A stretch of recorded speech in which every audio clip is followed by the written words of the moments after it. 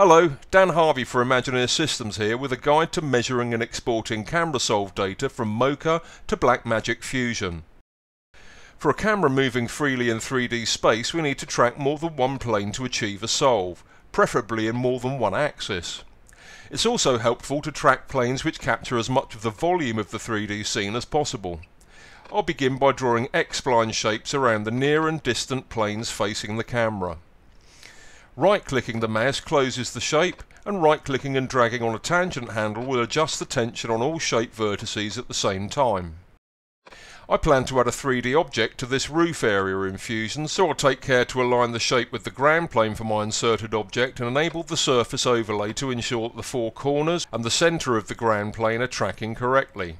The camera motion measured by Mocha is relative to the planes that we track, and it's worth noting that objects should be aligned with the track planes downstream to ensure that their parallax matches correctly. I'll enable perspective tracking for all shape layers and increase the ratio of pixels used to improve accuracy and hit the track forward button to begin the tracking process. When tracking is complete I'll select the shape which defines my ground plane and switch to the camera solve tab. I'll select the focal length and motion type, in this case a large parallax change, and hit Solve to solve the camera in relation to the currently selected shape. It's worth noting that you can select multiple shapes overlapping in time if no one shape spans the entire duration of the clip. The dialog box indicates that the solve is good, with 99% accuracy, so I'll export my camera data as an FBX file. Now I'll move over to Fusion and import my 3D geometry.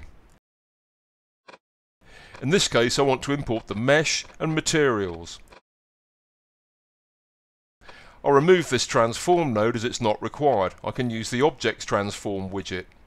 I'll drag the object node to the left viewport in order to view it.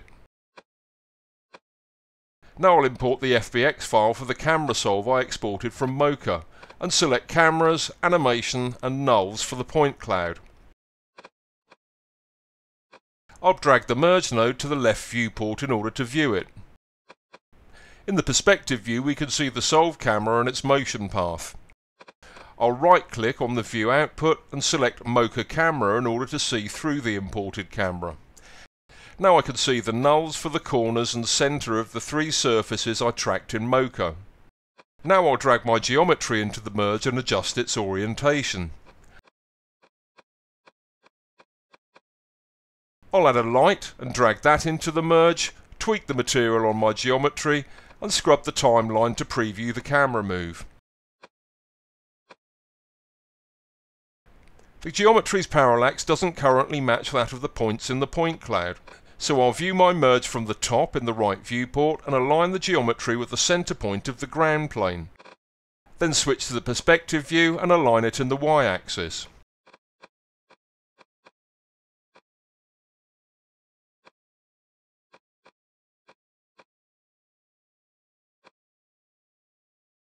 Now I've aligned my geometry correctly, I'll connect it to a render node, add a loader for my background plate, and a merge node for the final comp.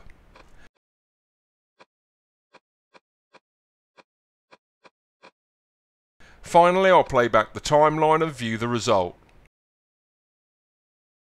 Thanks for watching. For more Mocha tutorials and workflows for sharing Mocha data with third-party applications, check out the videos at ImagineerSystems.com.